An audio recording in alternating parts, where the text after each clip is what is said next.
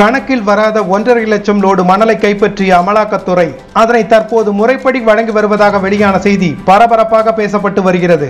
ஒன்றல்ல இரண்டல்ல ஒன்றரை லட்சம் லோடு மணல் கணக்கில் வராமல் இருப்பது தமிழக அரசின் மெத்தனமா அல்லது தெரிந்துதான் இத்தனை பெரிய விஷயம் நடந்துள்ளதா என்பது கேள்வியாகி உள்ளது. திருச்சி மாவட்டத்தில் லால்குடி அருகே உள்ள தாளக்குடி மண்ணச்சநல்லூர் அருகே உள்ள நொச்சியம் திருவானைக்காவல் அருகே உள்ள கொண்டையம்பேட்டை ஆகிய பகுதிகளில் கொள்ளிடம் ஆற்று அரசு மணல் குவாரி செயல்பட்டு வருகிறது.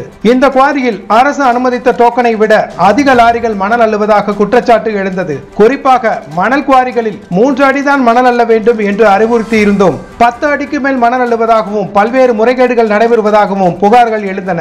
இந்த நிலையில் கடந்த மாதம் பனிரெண்டாம் தேதி அமலாக்கத்துறை அதிகாரிகள் கொள்ளிடம் மணல் குவாரி மற்றும் மணல் இருப்பு வைத்திருக்கும் பகுதியில் சோதனையில் ஈடுபட்டனர். இச்சோதனையின் முடிவில் கட்டுக்கட்டாக ஆவணங்கள் சிக்கின. மீண்டும் நடந்த ஆய்வில் கொண்டையம்பேட்டை குவாரி செயல்படாத நிலையில் தற்போது இருப்பில் உள்ள மணல் அளவு எவ்வளவு? நாள் ஒன்றுக்கு எவ்வளவு மணல் விற்பனை செய்யப்படுகிறது? அனுமதிக்கப்பட்ட அளவில் மணல் விற்கப்படுகிறதா என்பது குறித்து சிஆர்பிஎஃப் வீரர்கள் பாதுகாப்புடன் அமலாக்கத்துறை அதிகாரிகள் ஆய்வு செய்தனர். திடீர் சோதனை நடந்த குவாரிகள் யாடுகளில் கணக்கில் வராமல் இருப்பு வைக்கப்பட்ட மணல் அமலாக்கத்துறை அதிகாரிகள் மேற்பார்வையில் லாரிகளுக்கு வழங்கப்படுவதாக தெரிய வந்துள்ளது தமிழகத்தில் அரசு மணல் குவாரிகளில் அள்ளி போடும் பணிக்காக ஒப்பந்ததாரர்கள் ஈடுபடுத்தப்படுகின்றனர். இதில் சட்டவிரோத பணப்பரிமாற்ற புகார் எழுந்த நிலையில் ஒப்பந்ததாரர்களின் இடங்களில் அமலாக்கத்துறை அதிகாரிகள் சோதனை நடத்தினர். குவாரிகள் யார்டுகளில் சோதனை நடந்தபோது ஒப்பந்ததாரர்களின் ஆட்கள் ஓட்டம் பிடித்தனர். சோதனை முடிந்த நிலையில் இந்த யார்டுகள் மீண்டும் செயல்படவில்லை. அதே நேரத்தில் இந்த யார்டுகளில் கணக்கில் வராமல் மணல் இருப்பு வைக்கப்பட்டதாக அமலாக்கத்துறை புகார் தெரிவித்த நிலையில் அதற்கு விளக்கமளிக்க முடியாமல் தமிழக அரசு அதிகாரிகள் தவித்து வருகின்றனர். இந்த நிலையில் யார்டுகளில் கணக்கில் வராத மணலை ஆன்லைன் விற்பனை திட்டத்தில் வழங்க முடிவு செய்யப்பட்டது. இதற்கான பணிகள் துவங்கியுள்ளன.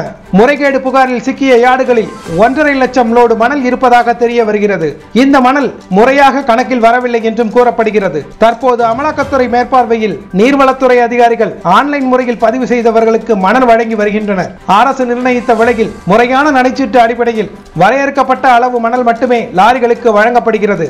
நாளொன்றிற்கு நூறு முதல் நூற்றி ஐம்பது லோடு மணல் வழங்கப்படுகிறது. இது தொடர்பான அனைத்து நடவடிக்கைகளும் வீடியோ பதிவு செய்யப்படுகின்றன.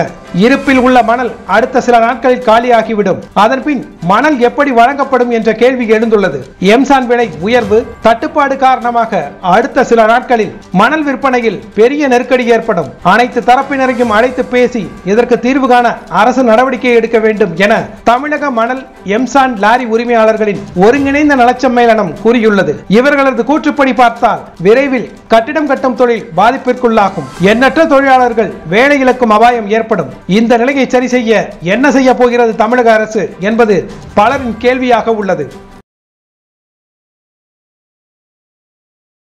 பத்தாம் வகுப்பு படித்தவரா நீங்கள்? நீங்களும் மத்திய அரசு பணியில் சேரலாம். எஸ்எஸ்சி நடத்தும் எம்டிஎஸ் தேர்வில் பங்கேற்று வெற்றி வாகை சூடுங்கள். சன் ஐஏஎஸ் அகாடமி நடத்தும் எஸ்எஸ்சி எம்டிஎஸ் தேர்வுக்கான பயிற்சியில் இன்றே இணைந்து பயிற்சி பெறுவீர் வெற்றி பெறுவீர். தொடர்புக்கு double nine five two nine two triple zero one seven three nine seven three triple five one seven